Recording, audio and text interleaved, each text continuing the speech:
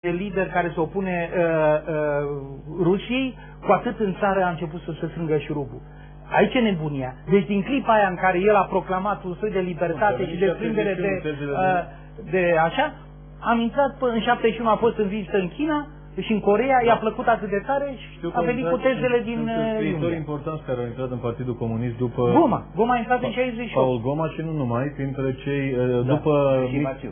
Și Vaciu, După da. Oameni care făcuseră august pușcărie. 1968. Deci poziția...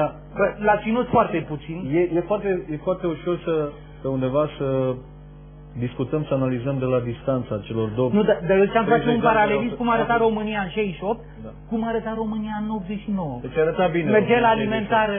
Arăta bine România 68. 68 arăta bine. În Arăta condițiile bine. date, Arăta foarte în condițiile bine. Nu date, realitate. n-a arătat niciodată mai bine în timpul comunismului. Atunci a arătat Deci cel mai atunci a tare. fost, de asta și spun, a fost apogeu, nu numai al uh, lui Băi, Ceaușescu în ca 68 lider, intrai la alimentare, te duceai la vânzătoare, te arătai buletinul populației și luai, cumpărai 200 de Dar grame de discursul- salam când se găsea. Discursul lui vorbește de stalinism și de leninism. Mergeai pe la începuse stalinismul, deci în, șe- în 89 trăiam în plin Nu, stalinism. din 89. Acum nu trebuie să ne Nu, facem vorbim prea multe de discursul iluzii. din 68.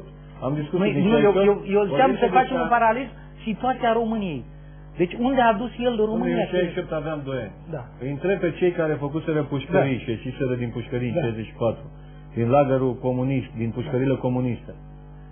Cum au putut să vadă un astfel de moment extraordinar, după unii, mai ales că în discursul lui Ceaușescu se vorbește de stalinism și de leninism. Da, uitați ce se întâmplă. Vă rog. În România, Vă întreb. Rom- România era de 20 și ceva de ani uh, prizoniera lagărului comunist, de tip Da. sovietic. După Ialta, 1945, nimeni nu se mai aștepta la uh, venirea uh, rapidă a americanilor și la perforarea cortinei de fier. Lumea arăta stabilă, închisă, în condițiile date, cum spuneam. Uh, Ceaușescu um, recurge imitându-l pe Gheorghe Udeș și continuându-l pe Gheorghe Udeș, înconjurat de uh, uh, oameni de partid mai tineri, Era între în care, 68? între, bineînțeles că eram în țară, Da. Chirai, Trofin, Ion Iliescu, um, recurge la Cartea Națională. La Da, și pe comunismul național cu comunism, față da. națională. Și care are și o față umană. Bineînțeles că oamenii care ies din închisori, mulți dintre ei credeau că nu o să mai apuce ziua asta niciodată. Uh, Începutul de prosperitate, în comparație cu ce De se întâmpla- liberalizare. în comparație cu ce se întâmpla, am cunoscut ani mai, mai târziu uh, pe băiatul unui, unui diplomat. Păruseră mandatari, Unii- erau primele restaurante cu patron din România, în 68, 69, 70, până în 71 când ea... În comparație cu ce se întâmpla la Budapesta în 68, după aceea a fost din ce în ce mai bine în comunismul de tip gulaj, nu?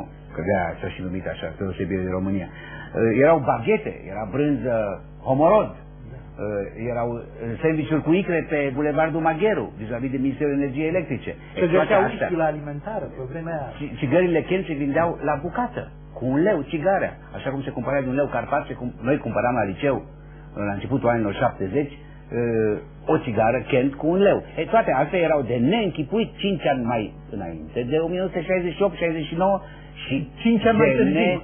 Și cinci ani mai neimaginat târziu. uh, câțiva ani mai târziu. Dar și aici se vedeau limitele. Ceaușescu era un lider comunist, nu era un lider uh, ales. Dacă el ar fi mers până la capăt cu logica solidarizării cu cei de la Praga, Nu am mers în niciun... admițând că, admițând că rușii n-ar fi intrat în Cehoslovacia cu aliaților din pactul de la Varsovia, la un moment dat Ceaușescu se despărțea. Sau el se despărțea de putere, sau el se despărțea în mod obligatoriu de, de Cehoslovacia. De ce? Pentru că um, primăvara de la Praga cerea presă liberă, alegeri libere, Multipartidism. dialog Da, cu chestii alte care- partide. Uh, lucru Care nu prea care plăcea. ar fi dus la El uh, nu decapitarea avea- politică a lui el Nu Nicolae avea Ceaușescu. niciodată substanța primăverii de la Praga. El a, vor, a vorbit de, de forma uh, protestului, de forma uh, și de fapt a vorbit, a fost împotriva intervenției uh, pentru înlăturarea celor care însemnau primăvara de la Praga. Ceaușescu a intrat într-un uh, într-un fel de uh, flux pe care eu îl observ în istoria României de, uh, de mai multă vreme, nu numai când e vorba de ceaușism, ci și când e vorba de ce s-a întâmplat înainte de el și după el, într-un fel. Și cred că observația ne privește pe toți, uh, pe noi toți românii. Ceaușescu ținea e și el unul dintre acei lideri români sau români eminenți, români care își reprezintă la un moment dat națiunea, ă, dar care suferă de un mare păcat. Al nostru, a tuturor, un păcat difuz. Ne iubim mai mult țara decât libertatea. Bine, e frumos ce spui tu, dar... ă, Și ă, iubim uneori țara cu prețul sacrificării libertății. Păi, și asta mai înseamnă dragoste de țară? Când e vorba de sacrificarea libertății? Democrația este singurul loc în care ne dăm seama că țara trebuie iubită în același fel cu libertatea. Și nu-ți iubești țara cu adevărat, nu ți-o slujești cu adevărat decât, decât slujind libertatea. Haideți să venim la 89. Vreau Nu. să vă... Da. Eu zic să nu, să, să Nu rămânem abandonăm totuși anii la 68. Da, 68. Uh, De ce? el a intrat atunci într-o m, într-un rol pe care nu l-a putut duce până la capăt și trebuie să folosesc expresie că l-a cam stricat anturajul, pentru că uh, mitizarea lui până la urmă l-a dus și la moarte. Uh, a început cultul personalității, uh, era o chestie, domnule, trebuie să sprijinim pe Ceaușescu, e conducătorul nostru, indiferent că el mai așa să vorbea lumea, să e analfabet, nu știu, dar totuși trebuie Dar de important ce? pe jurul lui. Știți Așa, de ce? să Știți creăm care era- liderul, Care era justificarea, motivația sprijinirii lui Ceaușescu? Trebuie să facem zid comun cu acest om. Împotriva rușilor. Da. Deci a fost mitul Ceaușescu la care au Omul lucrat, care se opune au lucrat, rușilor. au lucrat Omul uh, care uh, scriitorii, salvează jurnaliștii. țara, apără Se opune rușilor și salvează țara. salvează țara.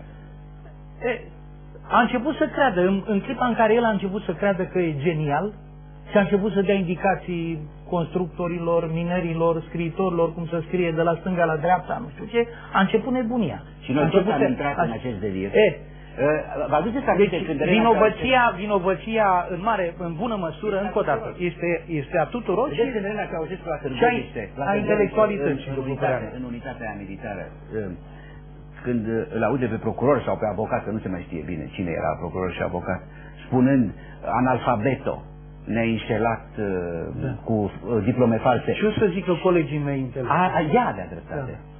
Să lăsăm o parte că ei Când doi a zis au că avut se mai tot ridică timpul Colegii mei intelectuali. Dar Păi cine- dacă despre ea să Cine scrie- aplauda? Da, în da, acest- da, Uite, da. domnule Tucă. Cine a dumneavoastră, făcut-o care vă membră- specializați tot mai mult în istoria recentă. Din fericire pentru generația Cine a de tineri. aplaudat? Eu fac un experiment cu dumneavoastră și cu mine și Da, cu domnul da. Dinescu. Începând de astăzi, timp de 20 de ani, suntem aplaudați în continuu, în școli. Dacă o să grădinițe, zică despre tu că județe. ești blond, uh, ai Nu, ochi că-mi place. albaștri, ai Ai cel mai bun uh, moderator de tare. emisiune din Europa, Nu, nu, doar asta din nu, România. asta, băi, asta Asta nu se știe. știe. Veți nu? sfârși prin a crede. Da.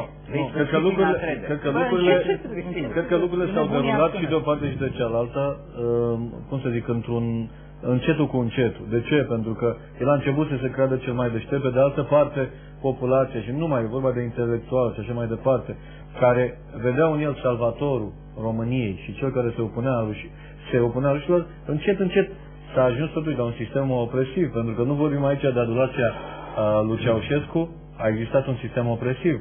Securitatea uh, a devenit destul de vreme după 70. Păi cenzura, nu numai, tot, tot Cenzura și toate sistemul, astea. tot sistemul Nu, stalinist de ce a fost acceptat? s-a A fost refăcut Când au, când, când a- lașitatea, lașitatea uh, celebră a... Toată această involuție, uh, pornind de la datele comuniste din 1968, este posibilă tot din cauza comunismului. În orice societate semidemocratică, autoritară, ca în America de Sud, de exemplu, sau ca în democrația ta de tranziție, Ceaușescul ace- acesta, uh, dizolvat în propria lui uh, grandomanie a persecuției, n-ar fi fost posibil, pentru că alegerile, grupurile paralele de putere, lobbyurile, o piață cât de cât liberă, fac imposibilă perpetuarea unui astfel de individ.